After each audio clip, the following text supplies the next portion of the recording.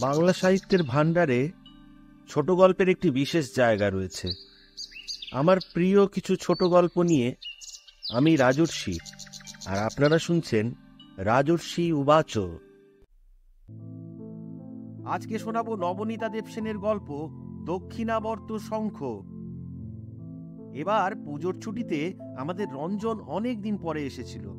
বেশ গোবদারি গজিয়েছে দেখলুম। আরও কিছু খবর দিয়ে গেল বসন্ত মামার। রঞ্জন বলল, সেদিন বিজয়া দশমী বসন্ত মামা হন্তদন্ত হয়ে ঢুকলেন আর ঢুকেই এক হাঁক পারলেন সন্টু মন্টু, রঞ্জ, এই রাইখা গেলাম মহাশঙ্খ। আমি যাইতেছি স্নানে। হাত দিবা না কেউ, এই কয়া দিলাম। শঙ্খে হাত দিলে হাত কাইটতে ফেলাম হ ইয়া যে সেই শঙ্খ না, দক্ষিণাবর্ত শঙ্খ। ডাইন দিকে পেঁচ বুঝলা? অর্ডিনারি শঙ্খগুলান কেমন হয়? খেয়াল আছে? লেফট সাইডেড সব লেফট সাইডেড তাকিয়ে দেখি বসন্ত মামার হাতে এক বিরাট শঙ্খ। সত্যি বেশ অসামান্য অসামান্য দেখতে।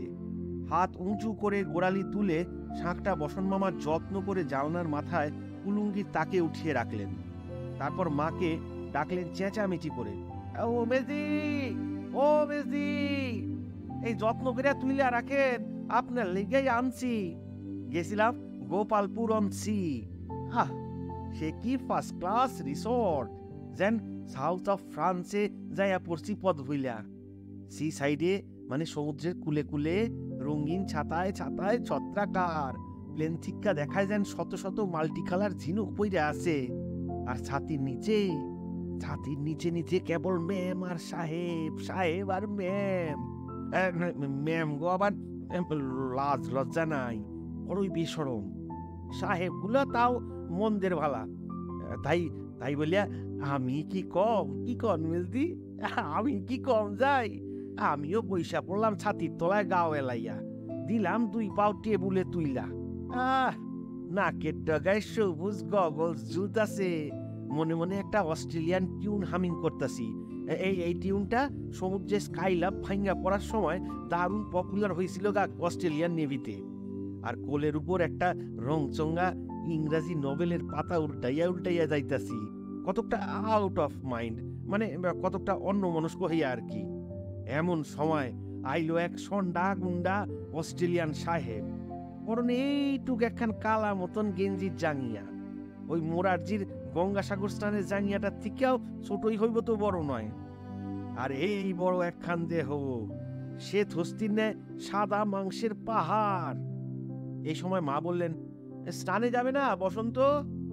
বসন্ত মামা বললেন এই যাই মেজদি কিন্তু আমরা তখন অদম্য হয়ে উঠেছি। "এই, এই, এই, এখন না বসন্ত মামা এখন না আগে বলে যাও কি হলো তারপর সেই সাহেব? বসন্ত মামা এবার চৌকিতে পা তুলে বসলেন। তাচ্ছিলের ভঙ্গিতে হাতটা উল্টে আর ঠোঁট বেঁকিয়ে বললেন "আ, ওই আবার কি? কিছুই না? সাহেব আইয়া আমারে কইল গুড মর্নিং স্যার। আমিও মুখ থেকে পাইপটা নামাইয়া নোট কইরা সিরিয়াসলি কইলাম গুড মর্নিং স্যার কিন্তু পাও নামাইলাম না। দীক্ষা সাহেব কইল আমি কি বসতে পারি? মে আই সিট ডাউন আমিও কইলাম "বা- বসো না বসো। তুমি আমাগো দেশের অতিথি বইলা কথা। সিট ডাউন সিট ডাউন সাহেব তো আমার ইংলিশ শুনে একেবারে হক চকাইয়া গেছে। কইলো "আহ, তুমি কি যেন একটা গান গাইছিলা? কেমন চিনা চিনা লাগে? আমি মৃদু হাস্যা কইলাম, সাহেব, আপন দেশের জাতীয় সংগীত চিনো না? এইটা তোমাকে সমুদ্রে স্কাই ল্যাব পতনের সময়কার গান। সাহেব তখন এত খুশি, নীল নীল চক্ষু দিয়া নীল নীল পানি গড়াইয়া যে পড়ে।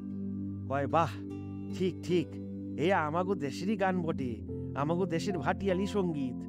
সাহেব কয় এই আমি তো নাবিক আমাগো রক্তে এই গান খেলা কইরা বেড়ায়, কিন্তু তুমি ইন্ডিয়ান হইয়া এই গান শিখলা কি কইরা? আমি বলি, সাহেব, আমি নাবিক নই, কিন্তু বাংলাদেশের পোলা। আমরা হইলাম পানির পোকা, বুঝলা? পানির ব্যাপারে আমাগো লগে তুমি পারবা না। আর যেই না কইছি, সাহেবটা খটাং কইরা বাজি ধইরা বসল। বেট, চলো রূপ সাঁতার দেই। দেখি কি তুইলা আনতে পারি সাগরের তল থিকা। আর আমি কি ছাড়ি? কইলাম ওয়াই নট ক্যান কাটুম না রূপ সাঁতার? সাহেব কইল, okay partner come on swim swim আমিও তৎক্ষণাৎ গড ইজ গুড জয় মা কালী কইয়া পরনে তলিয়া খানাই দিলাম চুইরা সমুদ্রের তরঙ্গে। তারপর চলো সাহেব, ধরি গিয়া বইলা ঝাঁপ দিয়া পড়লাম জলে। মারলাম এক ডুব। ওহ, সে কি গহীন গাং ডুবতেছি ডুবতেছি ডুবতেছি তল কুলার মিলে না।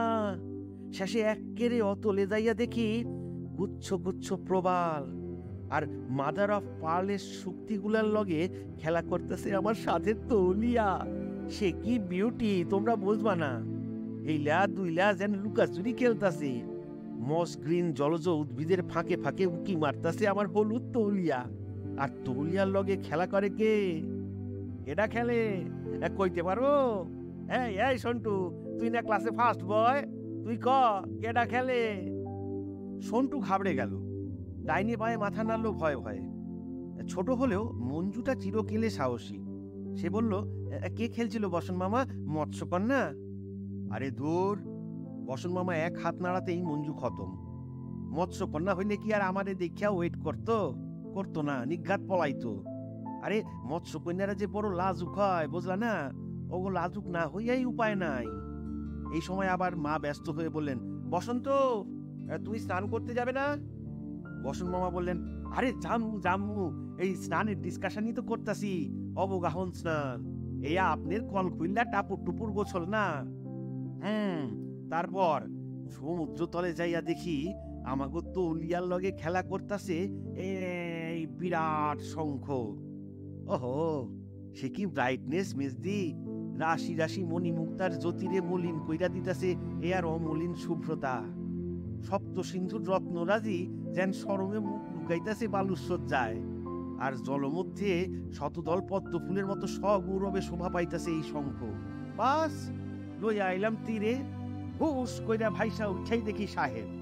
লাল নীল ছাতির নিচে বইসা বইসা বড় বড় শ্বাস চাটতাছে আমারে দীক্ষা কইল ও তুমি দেখাইলা বটে বিনা অক্সিজেনে জলের তলা পাক্কা বিশ মিনিট। আমি কইলাম, এই দেখো সাহেব পদ্মা পারের প্র্যাকটিস। কই, তুমি কি তুললে আনছো? দেখাও দেখি। তুলিয়া তো ধরতে পারো নাই, জানি। সাহেব কইল, my God, what sea what wave. এই উত্তাল তরঙ্গিত বঙ্গোপসমুদ্রে তো উহারা কোন নামে নাই। বেটার পাঁচ মিনিটেই দম ফিনিশ। সমুদ্র বক্ষ থেকে আর কিছুই তুলতে পারে নাই। আমার হাতে শঙ্খ দেখা তো সাহেবের চক্ষু স্থির। কয়, এই আবার কি? হোয়াট ইজ দিস ওয়ারে বুঝাইবার লিগা তো শঙ্খে লাগাইলাম এক ফু উড়িয়ে পাস এই যে মেজদি, শোনেন, এই কইয়া দিলাম। কোল ফ্যামিলির এই জয়েন্ট ওয়ার্নিং দিয়া দিলাম। এই শঙ্খে ফু দিবেন না। নেভার, উফ! বাপ রে বাপ, সে কি ভো? সেই থেকে আমি এই ডান কানটাতে স্লাইটলি কম শুনতাছি, বুঝলেন? এই রঞ্জু, মঞ্জু, সন্টু শুনে রাখো, ওই সদা পচা মেন্তিরেও কইয়া দিবা শঙ্খে কেউ যেন কদাচ ফু দিও না। সর্বনাশ হইব, ভেরি ভেরি ডেঞ্জারাস। হ্যাঁ তা যাইটা ছিল এক মার্কিন যুদ্ধ জাহাজ দূর দিয়া। একেবারে পেন্টিং এর লাহান দেখা যায়, যেই না দিছি শঙ্খে ফু, অমনি গেছে থাইম্মা। আ ওই যুদ্ধ জাহাজ গেছে থাইম্মা, সে কি বিরাট শব্দ? সমুদ্রের জলে ব্রেক টানছে তো। নিঃশব্দ পিচের পথেই দোতলা বাস ব্রেক টানলে কত না শব্দ করে।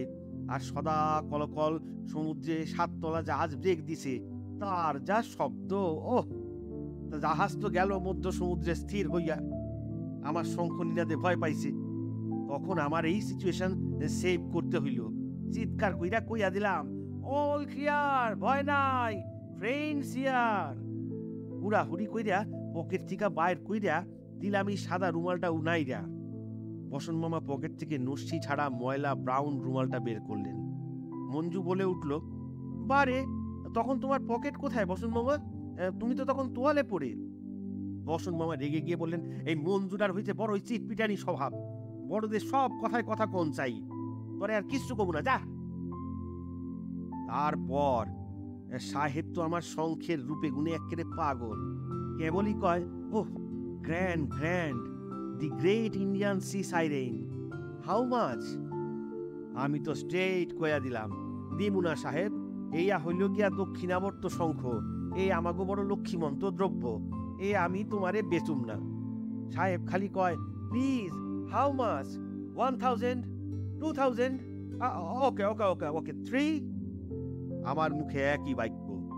মাথা নাড়তাছি আর অনলি কইতাছি no sir not for sale এই আমাগো মেজ দিন লেগা লইয়া যাব বড় পয়মন্ত শঙ্খ একটু থেমে রঞ্জন বলল, আমরা তো ততক্ষণে আশ্চর্য হয়ে জানলার মাথায় কুলুঙ্গির খোপে সুরক্ষিত নট ফর সেল দক্ষিণাবর্ত শঙ্খর দিকে মন্ত্রমুগ্ধের মতো এক দৃষ্টে তাকিয়ে আছি। বসন মামাও আমাদের তাকানোটা তাকিয়ে দেখছেন স্নেহমুগ্ধ হয়ে। এমন সময় ভীষণ গোলমাল করতে করতে এক পাল ছেলে ঢুকলো ঘরে। এই, জানিস রঞ্জন, এ কি কাণ্ড হয়েছে প্যান্ডেলে? এই ঠাকুর বিসর্জন দেওয়া যাচ্ছে না। পুরুত মশাই রেগে কাঁই। এই বরদাদের যাচ্ছে তাই করছেন। বিরাট কেলেঙ্কারি। একেবারে তুলকালাম কাণ্ড। প্রতিমার অঙ্গহানি হয়েছে। প্রতিমার হাত থেকে না কে যেন শাঁখটা চুরি করে নিয়েছে। সেটা না পেলে বিসর্জনই আটকে থাকছে। মা অবাক হয়ে বললেন, কিন্তু ওগুলো তো মাটির শাঁখ হয়। ও শাঁখ চুরি করবেই বা কে আর কেনই বা করবে? এমন সময় বসন মামার গলায় যেন কর করাত করে বাজ ডাকলো। আহ, ওই তো রইছে। লইয়া দানা তগো ছাতার মাথা শঙ্খ। নিতান্ত অশ্রদ্ধার সঙ্গে মাথার পিছন দিকে বুড়ো আঙ্গুল উঁচিয়ে কুলুঙ্গির দিকে দেখিয়ে দেন বসন মামা। বিরক্ত কণ্ঠে বলেন, যত সব লেট লতিফ। আমি মনে করি বিসর্জনটা হয়েই গেছে বুঝি। এখন কেবল লরির অপেক্ষা। প্যান্ডেলে একটি জনপ্রাণী নাই। ছি! তারপর মাকে বললেন কই মেজদি গামছাটা দিয়েন। ঠান্ডা সাইডে আসি। ওহ, বাড়ি তো একখানা মাটির শঙ্খ এই না পাইলে নাকি প্রতিমা বিসর্জনই হইতো না। চা তা, একখানা ব্লাউজ ছাইলেই হইল। আমি বুঝি না, ওয়াগো প্যাঁচ। আমি বললাম, রঞ্জন, এটা নিশ্চয়ই বসন্ত মামার সত্যি ঘটনা নয়। এটা তুমি বানিয়েছ। এ কখনো সত্যি হতেই পারে না। রঞ্জন বলল, বাহ, আমি বানাতে পারি বলে বিশ্বাস হয়, আর বসন মামা বুঝি বানাতে পারেন না? বলে রঞ্জন গোপের ফাঁকে মুচকি হাসলো। than that.